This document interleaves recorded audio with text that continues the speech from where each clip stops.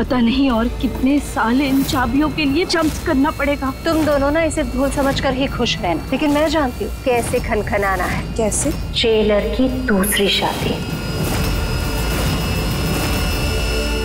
अब देखिए नथ दंगल प्ले पर टीवी से पहले।